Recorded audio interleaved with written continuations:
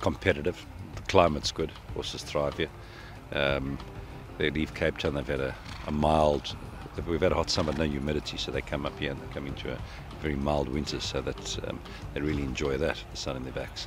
But uh, yeah, it's just, just, I mean, I've been coming here since '93.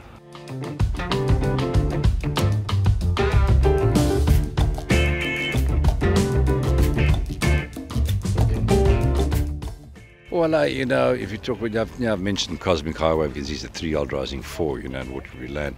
But um, you know, if you look at my two-year-olds you know, at this stage, I can't really point anything out and say, well, this looks the same because they haven't raced yet. You know, I haven't had one two-year-old run here yet.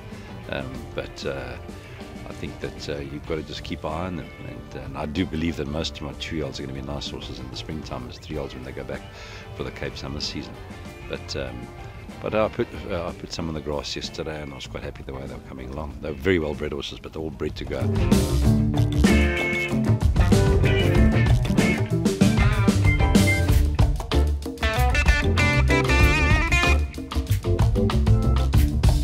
I think I'm excited about my two holes. so, uh, um, but those horses, uh, as I've mentioned now, uh, as we haven't got that much depth of the older horses. But those horses, you know, Waterbury Land, I've entered him in July, and uh, he's out of a Fort Wood mare. He's still got to prove that he goes 2,000 metres, but he won, he won exceptionally well the other day for 1,400 metres. So, um, yeah, so there we are. That's that's the season that lies ahead for me.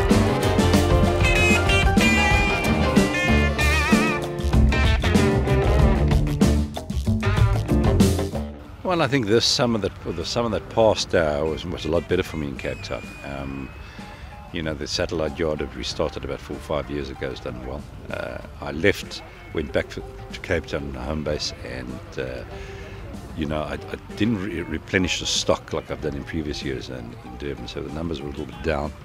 And but we'll see again what happens at the end of this uh, champion season.